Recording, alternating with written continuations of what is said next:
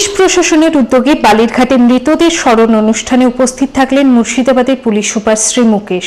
দেখুন সবসময়ের প্রতিবেদন। দু হাজার আঠেরো সালের উনত্রিশে জানুয়ারি মুর্শিদাবাদ জেলায় ঘটে যাওয়া ভয়াবহ মর্মান্তিক দুর্ঘটনার মৃতদের শ্রদ্ধাঞ্জলি জ্ঞাপন করা হলো। বিগত বছরের ওই মর্মান্তিক দুর্ঘটনায় মৃত বাসযাত্রীদের স্মৃতির উদ্দেশ্যে মুর্শিদাবাদ জেলা প্রশাসন ও মহারাজপুর বাজার কমিটির উদ্যোগে ব্রিজ প্রাঙ্গণে স্মরণসভা করা হলো।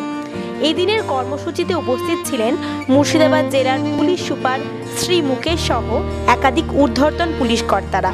পুলিশ সুপার এদিন বালিরঘাটে বলেন, পথ নিরাপত্তা নিয়ে প্রশাসনিক উদ্যোগ চলছে। বালিরঘাটের মতো এরকম দুর্ঘটনা যাতে না ঘটে, সেজন্য তিনি আবেদন জানান। এসপি আরও বলেন যে, গাড়ির গতি নিয়ন্ত্রণ করা হয়েছে কিছু ক্ষেত্রে। সেক্ষেত্রে গাড়ির স্পিড মাপার যন্ত্র বসানো হয়েছে। কোনো গাড়ি যদি স্পিড লিমিট অমান্য করে, সেক্ষেত্রে সেই গাড়ির বিরুদ্ধে পুলিশ নির্দিষ্টভাবে কেস স্টার্ট করে ফাইন করছে। আমাদের ডেইলি প্রত্যেক থানাতে প্রচুর প্রোগ্রাম করা হচ্ছে স্কুলসকে কলেজকে যারা কমিটি আছে বাজার কমিটি থেকে শুরু করে অনেক প্রাইভেট এনজিও সবাইকে ইনভলভ করে প্রোগ্রামগুলো করা হচ্ছে তো এখন অনেক অ্যাওয়ারনেস বেড়েছে আমরা পুরো বছর আমাদের যে এগারো মাস আমরা অ্যাওয়ারনেস প্লাস আমাদের এনফোর্সমেন্ট আমরা খুব স্ট্রিক্টলি করেছি।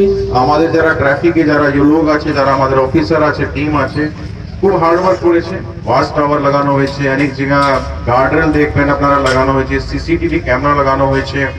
এখন আমাদের জায়গা জায়গা দেখবেন মেশিন নিয়ে লোক দাঁড়িয়ে থাকে ওভার স্পিডিং জন্য। ওই ওই মেশিনটা যখনই আবার কোনো গাড়ি খুব স্পিডে যাচ্ছে, ওর মেশিনটা ক্যাপচার করে নেয়, কত স্পিড আছে। তারপরে ওকে ফাইন করা হয়। তার জন্য অনেকটা স্পিডগুলো কমানো হয়েছে ন্যাশনাল হাইওয়েতে স্টেট হাইওয়েতে তো এইসব অনেক আমরা করেছি, যার জন্য এই অ্যাক্সিডেন্ট সংখ্যা অনেক কম হয়েছে। এত বলার পরে, এত করার পরে ই কিছু মানুষ জন্য একটা দুটা কিছু একটা করে দিল, এই জন্য এরকম ঘটনাগুলো হয়ে যায়। যেটা যেন না হোক, সবাইকে রেসপন্সিবিলিটি নিতে হবে, সবাইকে দায়িত্ব নিতে হবে। বালিরঘাট থেকে সবসময় রিপোর্ট।